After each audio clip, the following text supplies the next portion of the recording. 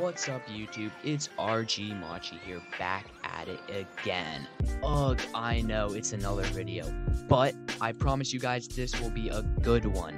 I'm gonna show you guys today how to make the best, most efficient beginner Minecraft farm there is. Please make sure to like and subscribe. Thank you very much.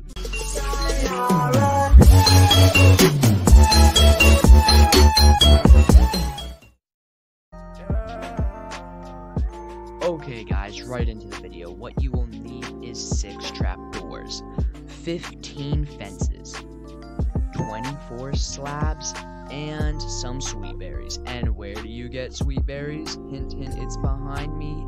Correct, a spruce forest. And sweet berries, they spawn natural in a spruce forest. Right now you can't see any because I mined them all Um, so I could get this much. I'm right now in a little survival world I just started today. And of course, in my survival world, I have right off the bat a chicken farm. And if you want to learn how to make this exact chicken farm, you can watch my YouTube tutorial on it. It is the first video I posted. It's a little scuffed because it was my first YouTube video. I had no idea what I was doing. Okay, right into the build. I was getting a little distracted there. That was my ADHD taking over. So what you first want to do is place down one fence post. Then you want to take one space and place down another. One, two, take another one and.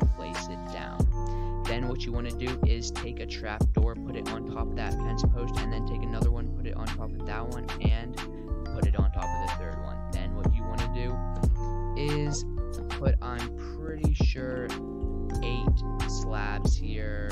One, two, three, four, five, six, seven, eight, and continue that with the other uh, three. And after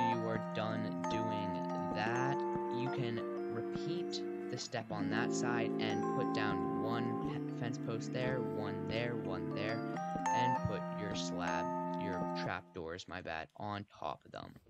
And just in case if you misclick, you want to bring an axe so you don't have to take those devastating moments of just mining wood with your hand. It takes so long, I can't handle it. Then go ahead and take your sweet berries and place them underneath the slabs.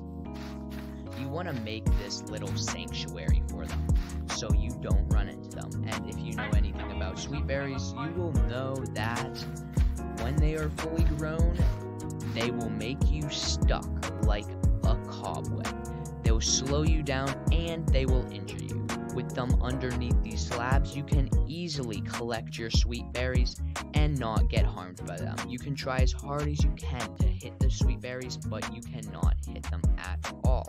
Sweet berries are very nice because they grow really fast and they heal a ton of hearts. Well, I mean food bars. And I think that's it for this video. I hope you enjoyed. Please make sure to like and subscribe. Thank you so much. And if you made it this far in the video, comment sweet berries down below in the comment section below so I can know you watched till the end. That's all for today. Peace out, guys.